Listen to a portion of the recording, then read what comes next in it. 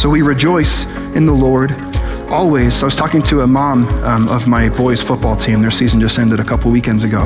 Um, she got diagnosed with breast cancer for the second time just a few weeks back. And we were talking about it, and I just said, Hi, you know, how are you doing? How, what can I be praying for? What's going on? Uh, and, and her response was this She just said, I don't like this.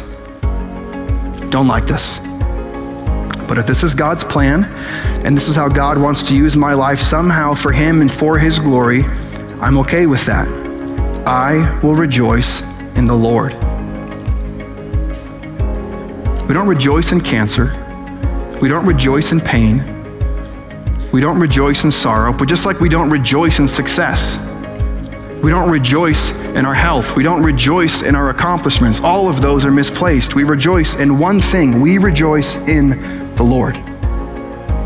He's the only constant that does not change. We rejoice in the Lord because He never changes. We rejoice in the Lord because He is good. We rejoice in the Lord because He can actually be trusted. We rejoice in the Lord because His love endures forever. We can rejoice in the Lord because, unlike our friends and our family, He never leaves us or forsakes us. We rejoice in the Lord because He's with us in our pain. We rejoice in the Lord because His joy is our strength. We can rejoice in the Lord because He's working all things for our good and for His glory. We can rejoice in the Lord because He is our rock and our salvation. We can rejoice in the Lord because someday we will dwell with Him in perfect harmony, perfect unity forever.